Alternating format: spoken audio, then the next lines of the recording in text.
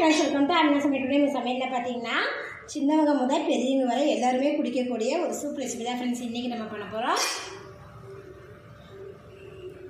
Vegetable soup வீட்டில் இருக்கிற பொருட்களை வச்சு எளிய முறையில் இந்த சூப் வந்து எப்படி செய்யணும் வாங்க ஃப்ரெண்ட்ஸ் வீடியோவில் போய் பார்க்கலாம். வீடியோக்குள்ளே பார்க்கும்போது வரைக்கும் நீங்கள் எங்கள் சேனல் சப்ஸ்கிரைப் பண்ணியிருந்தோம்னா சப்ஸ்கிரைப் பண்ணிக்கோங்க. வீடியோவை ஸ்கிப் பண்ணாமல் பாருங்கள்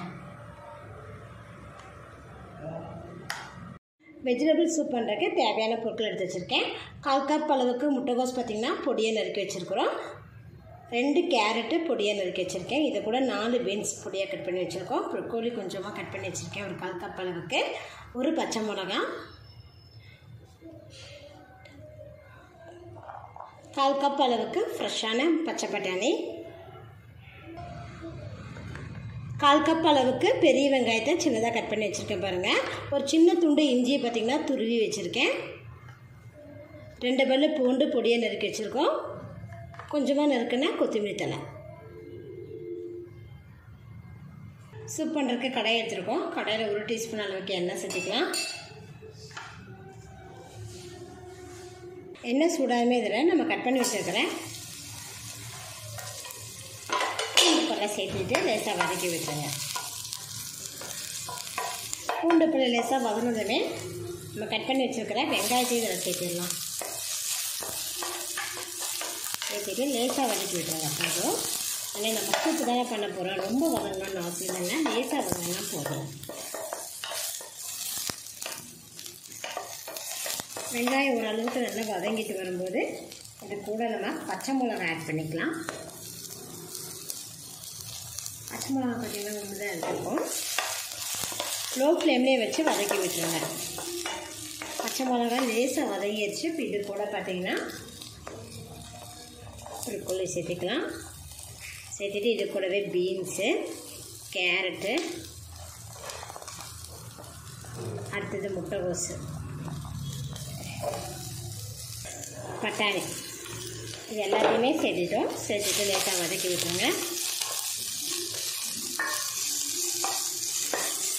வெஜிடபிள்ஸ்லாம் பார்த்தீங்கன்னா ஒரு நிமிஷம் நான் லோ ஃப்ளேம்லேயே வதக்கி விட்டுட்டேன். இப்போ இது கூட பார்த்தீங்கன்னா துருவின இஞ்சி நம்ம இதில் சேர்த்துக்கலாம். நல்லா ஃப்ரெஷ்ஷாக துருவி போட்டிருக்கோம்.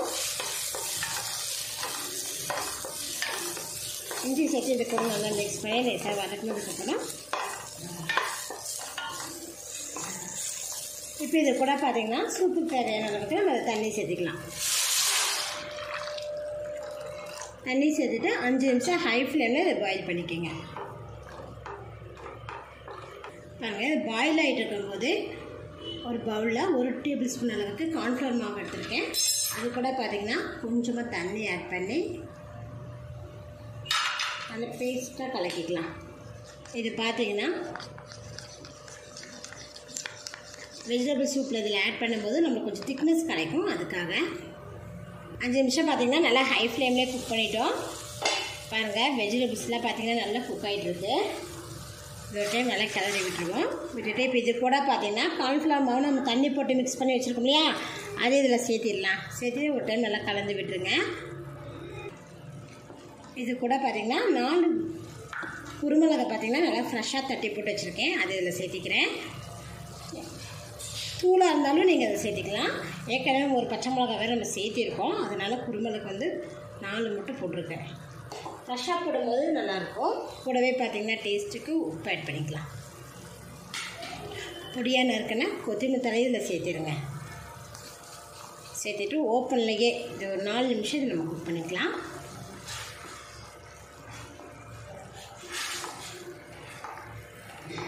நாலு நிமிஷம் பார்த்திங்கன்னா நல்லா ஹை ஃப்ளேம்லேயே குக் பண்ணிகிட்ருக்கேன் இப்போ இது கூட பார்த்தீங்கன்னா கொஞ்சமாக நான் பட்டரை ஆட் பண்ணியிருக்கேன். இது பாருங்கள் இந்த ஹீட்லேயே பார்த்தீங்கன்னா நல்லா சீக்கிரமாகவே மெல்ட் ஆயிரும்.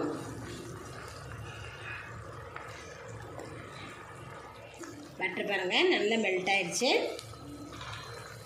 ஹெல்தியான வெஜிடபிள் சூப் பாருங்கள் ஃப்ரெண்ட்ஸ் ரெடி ஆயிடுச்சு பாருங்கள் நீங்களும் இது போல் ட்ரை பண்ணி பாருங்கள் என்னோடய வீடியோ உங்களுக்கு பிடிச்சினா லைக் பண்ணுங்கள் மறக்காமல் ஆமினா சமைச்சனா சப்ஸ்கிரைப் பண்ணிக்கோங்க. நன்றி.